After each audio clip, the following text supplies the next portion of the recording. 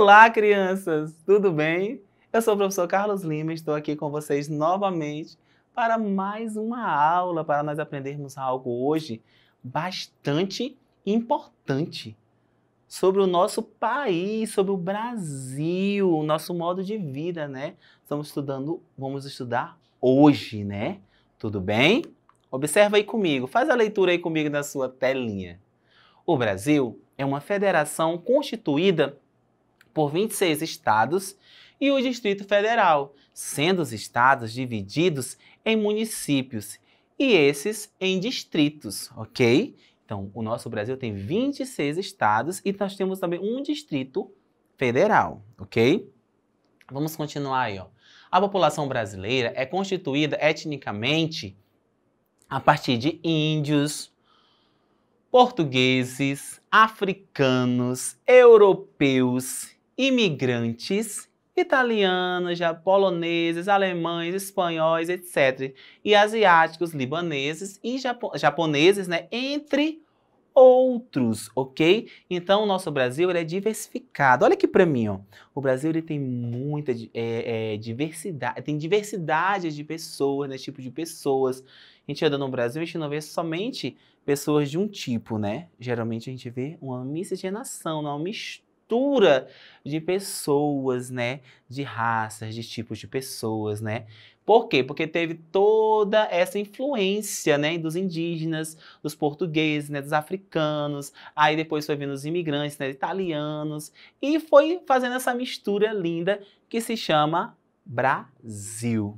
Né, quando você está lá com a sua, você olha a bandeira, né, quando você é na escola, em algumas escolas, né, eu creio que a, a grande maioria cantam, né, o hino brasileiro, hino nacional, né, você sabe muita, você sabe praticamente ele todo, né, de tantas vezes que você já cantou, né, então ele faz parte do que? Do nosso país, tudo bem? Então a população brasileira é bastante misturada, né, ela tem bastante mistura de tipos de raças, né, de pessoas. Ok? Tudo bem até aí? Ó, vamos construir a bandeira do nosso país, o Brasil? Observa aí, ó. Ó, quando você vai fazer uma bandeira, você coloca a parte, né? Temos a parte verde, aí depois vai vir, ó, a amarela, ó, a azul. Isso aqui é as cores, né, é, primordiais aqui da nossa bandeira. E tem aquela linhazinha, né, com o nome, só que isso aqui é só para nós representarmos, né, a bandeira. Tudo bem? Observa aí, ó. Representamos a bandeira, nós fôssemos fazer com figurazinhas, né? Ou desenhando. Tudo bem? Agora nós vamos ver, ó, a bandeira original do Brasil. Tudo bem? Olha aqui, ó. Essa aqui é a bandeira original, que você vai ver em todos os lugares falar: ah, temos uma bandeira do Brasil. Qual é a bandeira do seu, do seu país? Como é que é a bandeira do seu país? Ó, nós temos aí tudinho, a bandeira bem direitinho, aí ordem e progresso. Nós temos essas estrelinhas aí, né? Ó, as estrelas, tudinho certinho, ó. Então a bandeira do Brasil, onde você for, observa aqui para mim, ó. Onde você for, você vai observar essa bandeira, a bandeira que nós mostramos ainda há pouco. Você não vai ver, ah, eu, hoje eu quero fazer a bandeira do Brasil assim, vermelha, ver, é, verde, mas um verde diferente. Não. As cores, tudo isso aí da bandeira tem, já estão aí. Então a gente não pode pintar uma bandeira de nenhum país diferente, porque ela representa, né, ela é um símbolo do nosso país, ela é um símbolo do nosso país e ela não pode ser modificada, não pode ser modificado os desenhos, não pode ser modificado nada que está nela. Até aí tudo bem, crianças? Tudo certinho? Observar a bandeira. Olha lá, ó. Olha aqui, ó. O que representa cada cor e cada parte da bandeira do Brasil? Vocês já pararam para pensar? Cada parte daquela, cada cor, cada situação que tem dentro da bandeira é aleatório? Foi escolhido de qualquer forma? Observe aqui, ó. É, observa, é, é, é de qualquer forma. Ah, eu escolhi o verde, escolhi o azul, escolhi essas estrelas. E é assim? É dessa forma? Ou cada um tem um, um porquê estar ali? Cada um tem um porquê. Eu vou já mostrar para vocês, ó. Olha aqui, ó. A cada parte, ó. O branco. Observa aí as setinhas, ó. O branco significa o desejo pela paz. Geralmente, quando nós falamos em branco, nós falamos é uma cor que representa a paz. Então, o branco que tem nela representa a paz, ok? E o azul? O azul simboliza o céu e os rios brasileiros. Geralmente, quando nós falamos em água, né, nós colocamos geralmente representados pelo, pela cor azul, né? O nosso planeta é muita água, existe muita água, né? E quando a gente vai desenhar ele algum campo, a gente tem uma representação dele num globo terrestre, a gente vê ele bem azul, né? Por quê? Porque ele possui mais água, né? A gente consegue ver muita água nele. Então, o azul sempre simboliza os céus, né? Que o céu também é azul, e os rios brasileiros. E o amarelo? O amarelo simboliza as riquezas do país. Geralmente, quando nós falamos em, em, em, riquezas, né, em coisas valiosas, nós pensamos no ouro, né? Falamos no ouro, e o ouro é amarelo. Então, o amarelo está simbolizando a riqueza, simbolizando tudo isso de ouro, né? Simbolizando as riquezas do país. Riquezas em geral, né? No caso aí está simbolizando todas as riquezas. Nós temos bastante riquezas, independente de ser ouro, pedras preciosas, mas temos também outras riquezas que são é, é, patrimônio nosso, né, que são do nosso Brasil e que fazem com que o nosso Brasil seja conhecido e que, fa e que é bastante é, lucrativo também, ok?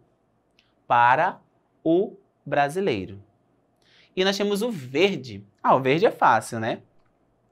O verde simboliza as matas, a rica floresta brasileira. Já imaginou? A nossa floresta é imensa. Então, nós temos a maior floresta, né? Temos a maior floresta amazônica aí. Você pode falar assim, nós temos no nosso país a maior floresta. Porque a diversidade de animais é imensa.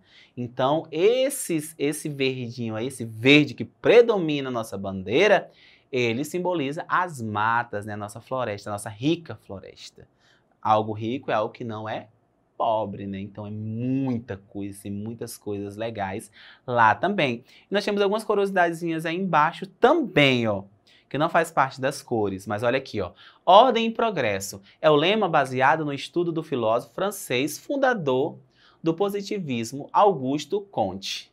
E as estrelas simbolizam, sabe o quê? É importante você aprender isso aqui, ó. As estrelas representam os estados e o Distrito Federal. Então, nós sabemos que tem quantas estrelas?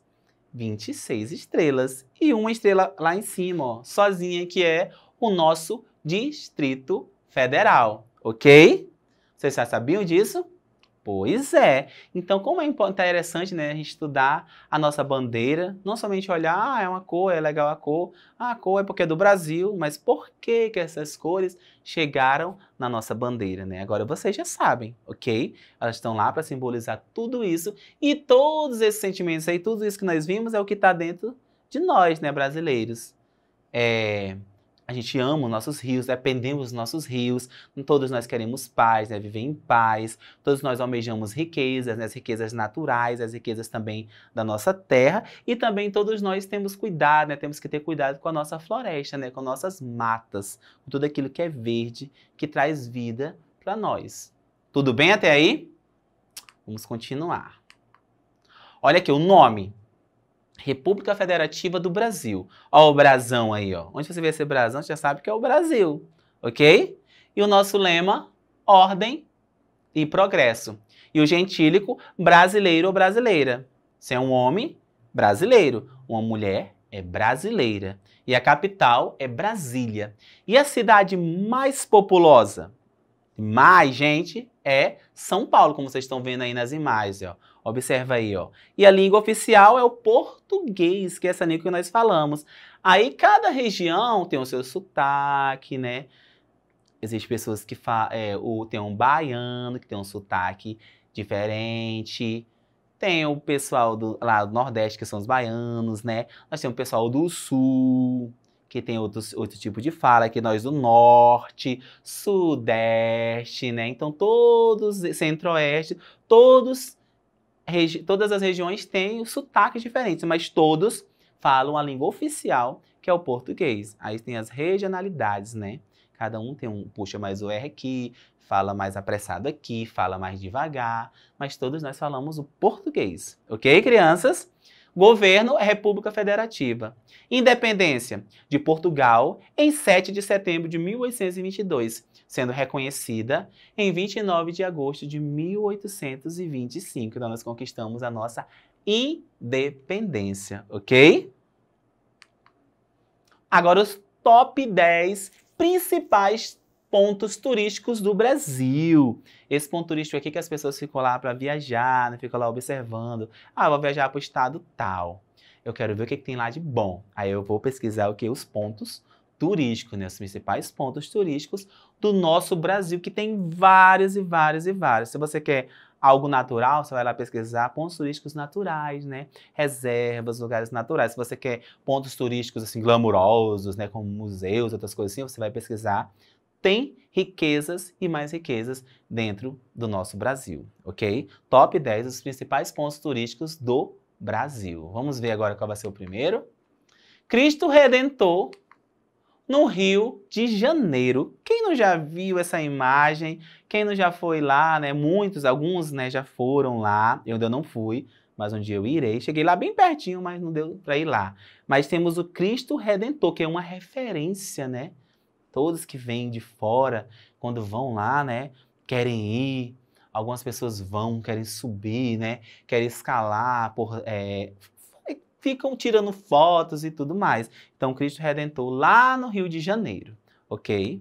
E o segundo é o Pão de Açúcar também no Rio de Janeiro. As pessoas vão é, passear, né? Nesse bondinho aí, tudo, de um morro para o outro, né? Então, Pão de Açúcar também.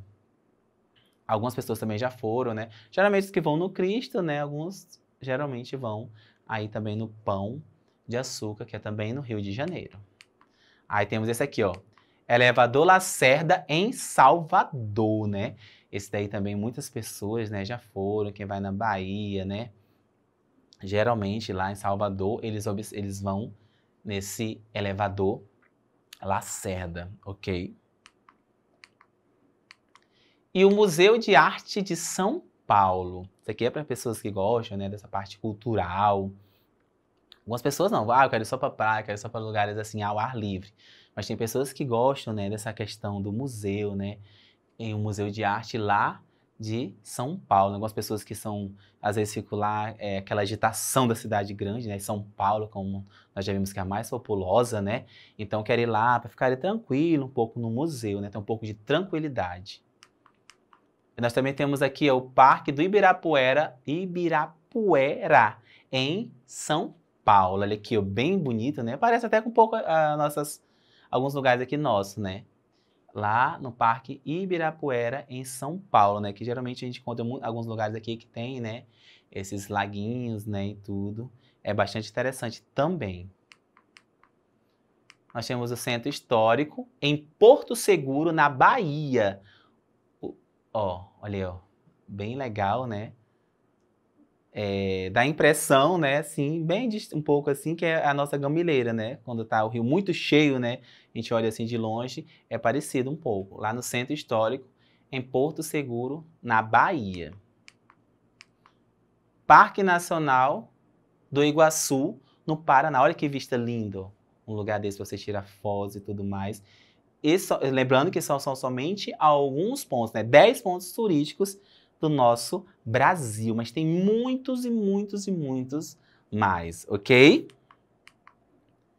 Praias do de Recife, olha aí, as praias lindas do Recife, ó. Quem gosta de praia geralmente procura, como eu falei, né? Procura lugares com praias, né? Vai pesquisando ali e tudo mais. Então, essas praias aí são do Recife, ok? Olha que coisa linda. Encontro das águas em Manaus. O encontro da água barrenta, né? Com a água negra ali, ó. Tá entendendo? É muito lindo, né? Isso aí existe mesmo, viu? Isso aí é, é real. É incrível, né? Quando o rio se junta com o outro, ok? Tudo certinho. Bonito em Mato Grosso do Sul. Olha a água cristalina, né? Você vê os peixes, você vê tudinho dentro, ó. É lá em Bonito, em Mato Grosso do Sul. O próprio nome já diz, né? Que é muito bonito. Ok, crianças? Tudo certinho? Vocês viram bastante, né? Aprendemos um pouco sobre o nosso Brasil. Eu vou ficando por aqui um pouquinho, mas não esqueçam de acessar a nossa plataforma Eduque. E você já sabe, né? Junto nós somos mais fortes e aprender junto é bem melhor. Tchau, tchau. Até daqui a pouco.